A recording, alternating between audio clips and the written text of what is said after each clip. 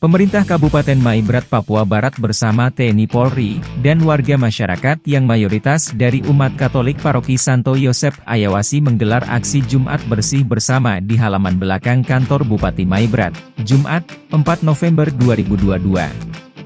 Turut terlibat pada aksi Jumat bersih tersebut, penjabat Bupati Bernard dan Dim 1809 Letkol Infantri Yohanes Andi Wibowo, Kapolres AKBP Glenn Roy Mall, Sekda Joni Wai, Wakil Ketua 2 DPRD Agustinus Tenau, Sekwan DPRD Ferdinandus Ta'a, pimpinan OPD, Pastor Paroki Ayawasi beserta seluruh umat. Tidak hanya itu, dan Satgas Yonif Rider khusus 136 Tuan Sakti Letkol Infantri Andi Arianto dan seluruh pasukannya juga turut mengambil bagian pada giat tersebut sebagai wujud nyata karya bakti dalam rangka memperingati HUT ke-18 Yonif Rider khusus 136 Tuan Sakti yang akan digelar pada 29 November mendatang bersama pemerintah dan masyarakat. Penjabat Bupati Maibrat Bernard Rondonu mengapresiasi kekompakan warga masyarakat bersama pemerintah dan TNI Polri yang sudah turut serta dalam kegiatan tersebut. Rondonu berterima kasih dan berharap aksi Jumat bersih harus tetap dibudayakan agar lingkungan selalu bersih dan nyaman bagi setiap pengunjung yang datang. Bapak Ibu sekalian torang sekarang kerja sama antara TNI Polri, Pemda, dan warga masyarakat. Mari torang sekarang budayakan Jumat bersih ini terus mulai dari kumur kek sampai petik bintang yang merupakan objek wisata kita, ujar Bupati. Rondonu merencanakan lokasi hutan yang sudah dibersihkan tersebut akan ditata baik dan dijadikan sebagai taman kota. Tempat ini akan dibikin taman dan juga tempat bermain untuk anak-anak, ini torang punya tempat harus dibikin baik supaya orang bisa datang duduk di sini, torang punya ibu kota ini harus bagus, kata dia. Kesempatan tersebut, Rondonu mengajak masyarakat mendukung ulang tahun Batalion Yonif Rider khusus 136 Tuan Sakti yang ke-18 dan juga satu tahun pengabdian Batalion Yonif Rider khusus 136 TS di Kabupaten Maibrat. Dan Satgas Yonif RK 136 TS, Letkol Infantri Andi Arianto menyampaikan terima kasih PJ Bupati dan seluruh masyarakat atas dukungan kepada batalion. Dia mengatakan, keterlibatan mereka pada kegiatan tersebut merupakan salah satu dari rangkaian aksi penyambutan HUT Batalion dalam mendukung program pemerintah. Andi menambahkan, akan ada berbagai macam kegiatan yang nanti dilaksanakan pada puncak HUT ke-18 Batalion Yonif Rider khusus pada 29 November ini, mulai dari lomba tarian daerah, pengobatan gratis, hingga pembagian sembako. Kita ada bikin lomba-lomba nari daerah sebagai bentuk pelestarian terhadap nilai-nilai budaya untuk tingkat SD, SMP, dan SMA. Selain itu juga ada kegiatan pengobatan gratis, dan pembagian sembako, katanya.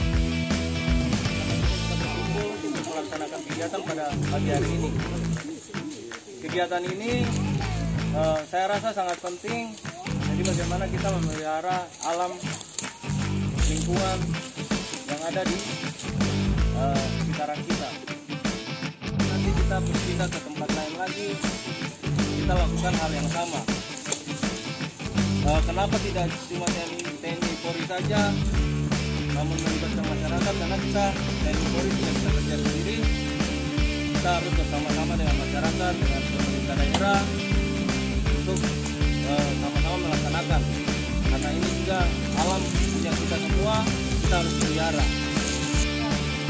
kebetulan dari yang baru.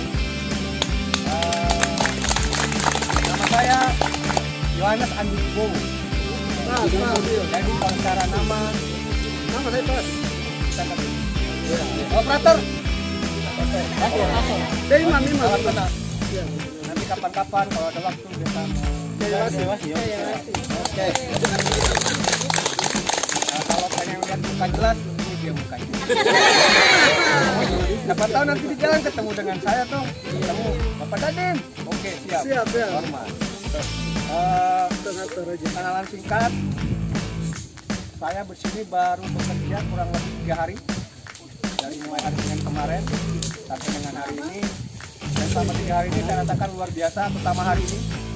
Begitu kita lihat kondisi yang dilaksanakan di sini tadi saya masakan kursi di sana dengan anggota batalion polisian dengan ASN kami dengar di sana di dalam sana ada Mama Mama teriak-teriak. Nah, itu ada apa di dalam sana teriak-teriak? Ternyata begitu dekat sini. Itulah semangat. Itu Mama ya. Semangat ada juga tadi Mama Mama Yan Yan Yan tadi Mama Yan bilang di dalam apa Mama? Tadi Papa. Kita bilang ngomong jangan keras-keras Ah, ngomong pelan-pelan saya bilang nggak usah. Itu ciri khasnya di sini ngomong keras-keras biar kita semangat betul? Sudah. Dengan ngomong keras kita semangat biar tidak sepi. Kalau sepi itu apa di mana? Di kuburan sepi kalau kita kerja kita suara kita berteriak itu berarti tandanya kita semangat. Itu saja dari saya. Terima kasih sudah sama dengan pagi hari ini. Terima kasih saya sekali lagi salam kenal salam hormat salam. Karena orang hari ini kebersamaan istilah kurve dulu di Ewasi orang sekarang semulai lebih mikir pula kurve sama-sama orang mau tunjukkan ini kampung kantor ini bermayang ini di Timurgen supaya dapatnya lebih bagus saya berencana Pak Sekda oh besok-besok tunggu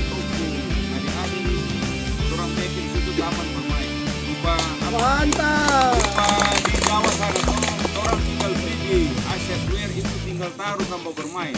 Supaya adik-adik semua datang untuk kita bermain di belakang-belakang bis ini turun ke tampa nanti masyarakat datang duduk-duduk sini tuh. Sambil ada warung-warung di sini pegawai juga di sini. Supaya apa? Ke ibu kota ini. Dong tanya. Di timur kan ada di kota ada. Di belakang kantor. Jadi orang akan bikin begitu. Orang semulai hari ini. Bapak dan Ibu sekalian.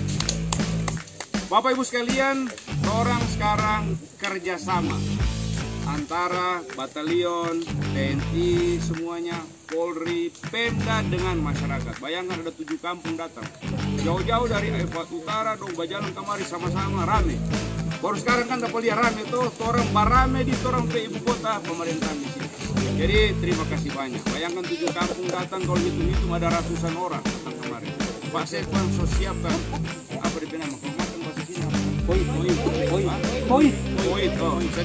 semua supaya terima kasih banyak sekali lagi terima kasih banyak.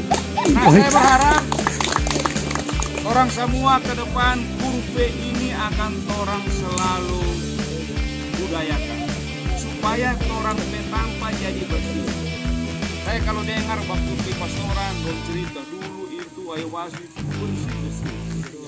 Oh bersih semua. Sekarang coba orang lihat di mana-mana orang buang di situ apa sampah, aqua, di jalan-jalan golden sampah. Mari sekarang orang budayakan Jumat bersih terus supaya orang mulai dari Timur ke sampai ke Petik Bintang itu bersih. Supaya orang-orang datang di Petik Bintang orang bisa lihat lagi itu suasana apa yang saya bilang kemarin.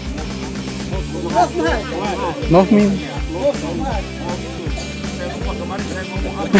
Tidak, saya lupa bahasanya oh, pokoknya apa? Nah, supaya apa? Bagus.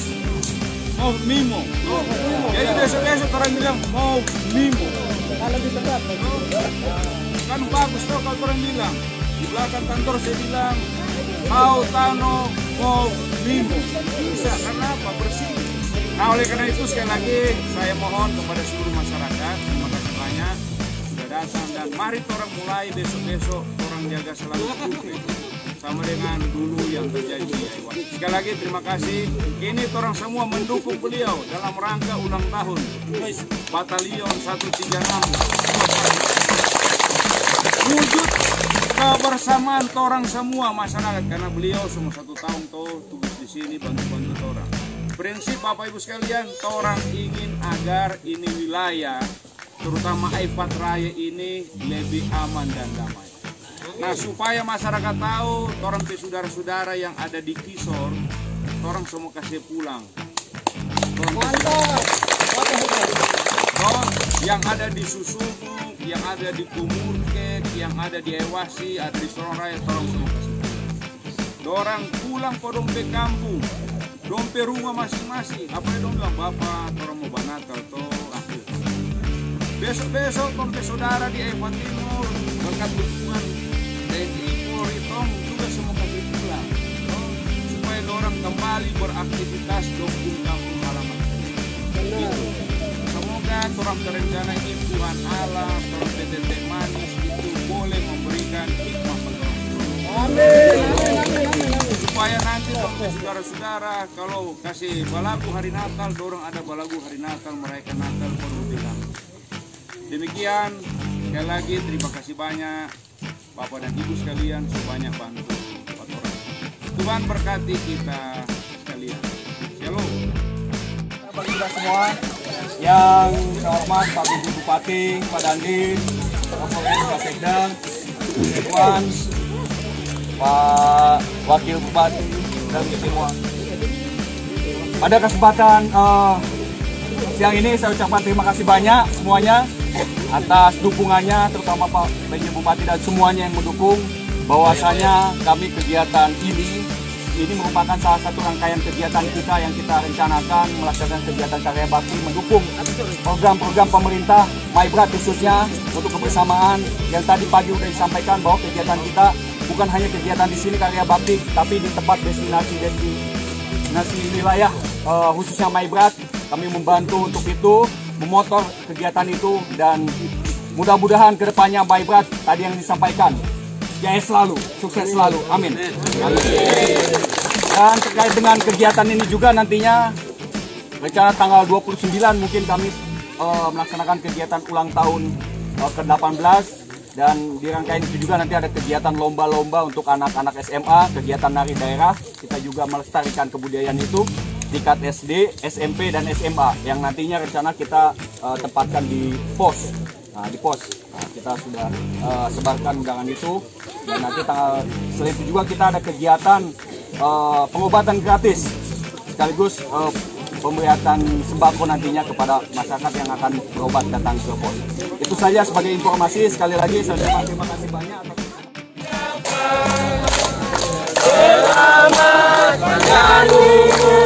atas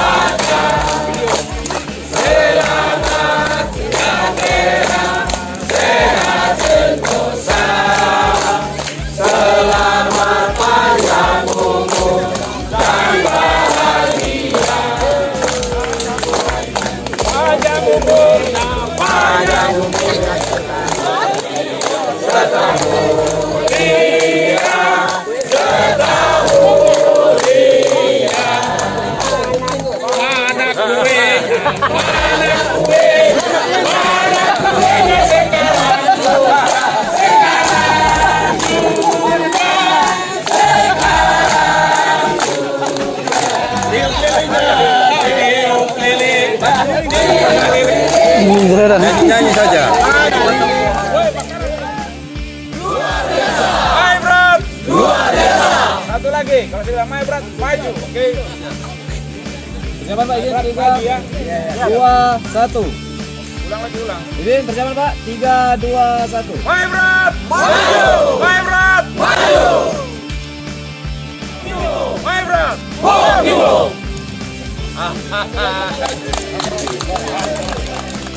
Dari Maibrat, Papua Barat, RNC TV, mengabarkan.